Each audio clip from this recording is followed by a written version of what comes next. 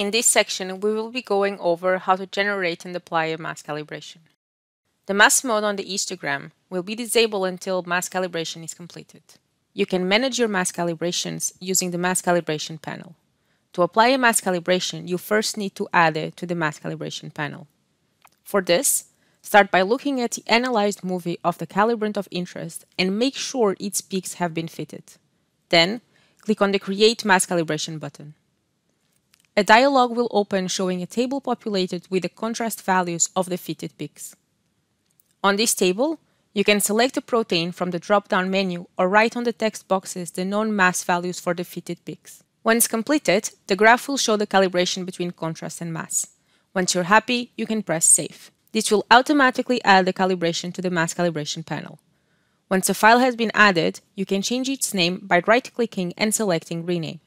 It is also possible to visualize the calibration information at any point by right-clicking on the calibration of interest and selecting View.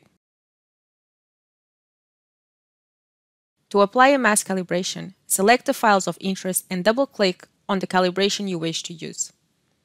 To remove a mass calibration, select the measurement files of interest and double-click on the No Calibration option. When selecting a measurement file with no calibration applied, the No Calibration option on the panel will be highlighted in bold. However, when selecting a measurement with a mass calibration applied, the calibration file on the mass calibration panel will turn bold instead. Once a mass calibration has been applied, the histogram will automatically change to mass mode. Mass calibrations can be exported individually as .mc files by clicking on the export icon.